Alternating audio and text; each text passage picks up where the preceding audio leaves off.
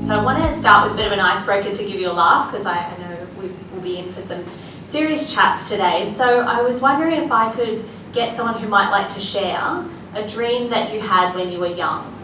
So for example, sometimes when I ask this question, I've had people say, I actually wanted to be a Formula One race car driver when I was growing up. And so I'd love if someone, maybe someone on one of the front tables here can just call out something that you wanted to be when you were younger. Filmmaker. Filmmaker? It's pretty awesome. Anyone else? Archaeologist. Oh, I love that. Archaeologist? Yep. Anyone else? Sorry.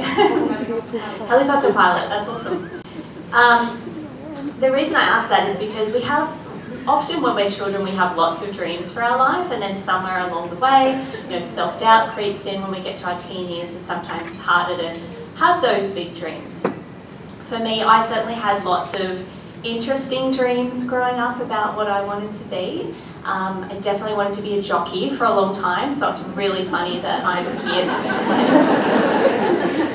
I mean, I'm the perfect height for it, so why not, you know? So they were some of the dreams that I had growing up. I also had another dream though, and it was one that I didn't really share for a long time and wasn't quite sure how, um, how to share with the world. But that dream that I had from a fairly young age was to one day make a difference in the lives of women and girls worldwide. But I wasn't sure how to make that happen. And that's because, like many children, I grew up in a home with a perpetrator of domestic violence. In our home, that was my father, and while the abuse was very rarely physical, it was more often emotional, mental, verbal, and financial. But as a kid growing up in the late 1990s and the early 2000s, of course, we didn't have any public conversation about these things. You couldn't scroll through social media and see something about, you know, what coercive control is or about gaslighting and understanding these psychological forms of manipulation and coercion and all of these things. You couldn't turn on TV and see an ad that would share with you about where to get help and so in our household, we really didn't have any options but to just keep swimming, as I say. Every day really felt like I was treading water, and that, that was about the only way I could describe it. What I learned from my father very early on was that um, to be female was to really be inferior. And that's why I'm really passionate about talking about these issues because that's the way that I felt growing up. I was treated differently to my brother, and every day felt like walking on eggshells. Now, it's impossible to describe in a 20 minute presentation about what that period of time was like, but I will tell you that um, I noticed these changes from about the age of 10, and it wasn't until I was 16 that I called the police for the first time.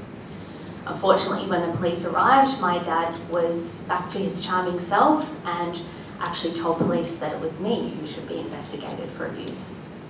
Every day, as I said, you know, it was this battle of treading water, swimming, not feeling I had a purpose and definitely not feeling that there would ever be anything outside of school that could be waiting for me. Um, really, I was just in survival mode and I just wanted to try and get through school. I couldn't even fix my gaze on anything else in the world. And so I had forgotten about those thoughts that I had that I wanted to one day make sure that no other women and children felt the way that I did. Like many young women who grow up in dysfunctional families, I went into the world very emotionally, uh, very emotionally damaged and made a lot of very reckless decisions, um, put myself in situations that were not healthy, entered relationships that were not healthy. And my wake up call came at age 20 when I was um, assaulted by someone who I had put my trust in for 18 months. I did find that I had to make a decision in that moment. Um, I understood that I could go the way that my dad had gone, or I could make a different decision. And so I chose to make a different decision. Everything changed for me when I made a decision to um, I say quit my job, but really ended up getting fired.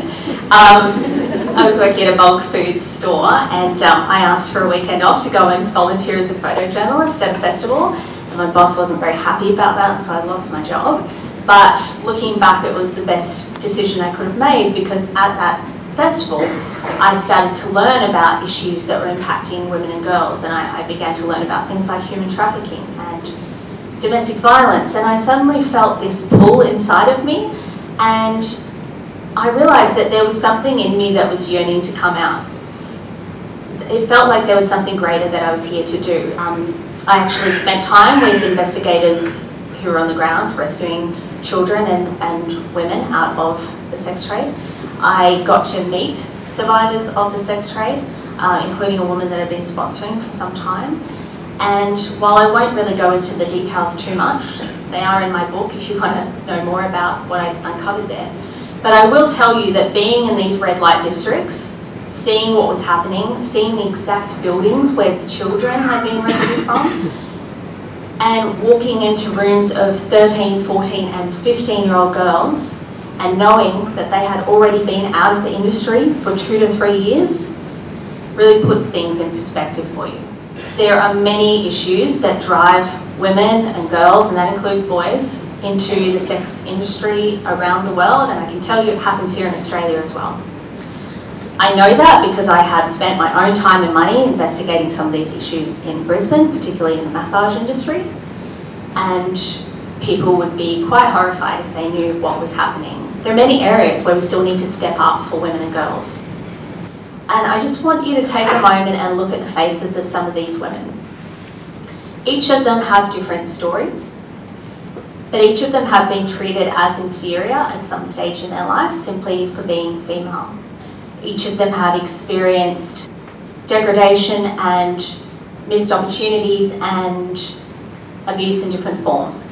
And I want you to remember that we are not statistics. We are people. Unfortunately, there are a lot of people walking around in society, and I'm sure in this room today, who have similar experiences to myself. I believe that each of us has a story within us with the power to change lives. But when we raise our voices and when we share those stories within us that we carry, we can carry future generations into the future and create a brighter, more empowered and fairer world for all of us. So thank you very much.